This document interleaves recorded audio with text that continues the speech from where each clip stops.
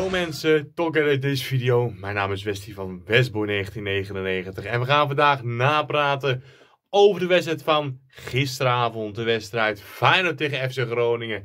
En we hebben gewonnen. We gaan door naar de finale 2-1, let's go. We hebben wel 1-0 achter gestaan. Toen dacht ik van, oh shit, daar gaan we weer.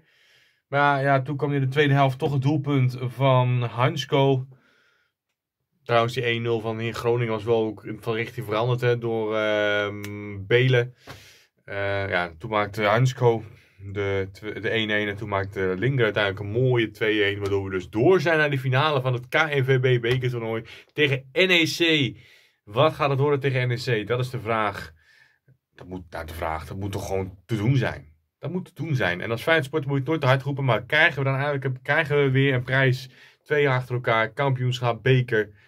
Dat deden ook volgens mij in 2017 wonnen het kampioenschap. We hebben daarna de, KV, de KVB-beker gewonnen. Daarvoor de KVB-beker, toen de kampioenschap, toen de KVB-beker. Wat van Persie toen we maar op een Feyenoord speelden. En toen de Leon Cruijffschool nog tussendoor.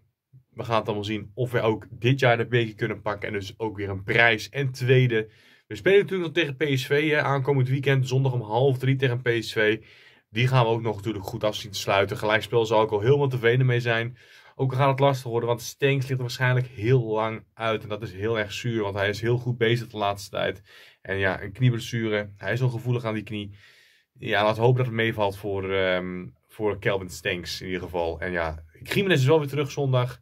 Ja, um, Bijlo nog geblesseerd. Jahan Baks geblesseerd. Hartman was ziek. Misschien dat hij er zondag bij is. We gaan het meemaken. Ik ga in ieder geval slapen, want het is voor mij al 11 uur s avonds.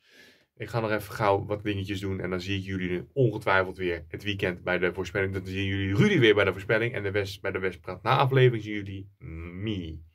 En morgen krijgen jullie, of vandaag of morgen, ik denk vandaag nog wel, de career mode. Die komt later vandaag, om uur of 12. Deze zien jullie onder uur of 10.